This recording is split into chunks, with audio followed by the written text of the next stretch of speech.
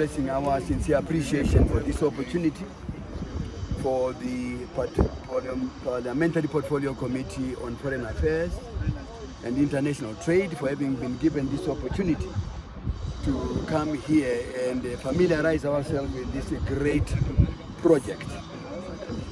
I must say that I would like to pay great tribute to His Excellency the President, His Excellency Comrade President Emmerson Dambudzo Mnangagwa for his great vision. What he has come up with here only goes to underscore the fact that Pan-Africanism is invincible. Now, the Institute of African Knowledge has done a fantastic job. We have seen construction that is going on here, and we have also been uh, given a picture of what the Museum of African Liberation stands for. We are aware that a lot of people in Zimbabwe don't really understand and appreciate the magnitude of this uh, project. The project here gives us an opportunity.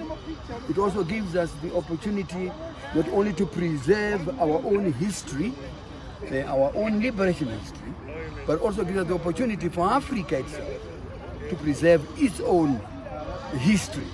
Now we have seen many times that our history is spoken about, written by people who don't come from Africa.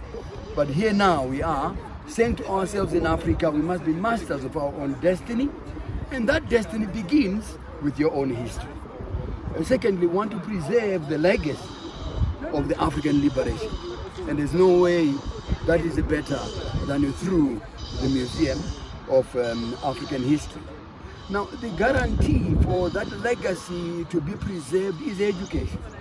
We would like to see more and more school children, the learners, coming here to see for themselves where Africa came from. At the end of the day, African countries have a common umbilical cord. We are all Africans. And we always say we're not only born in Africa, but Africa was born in us.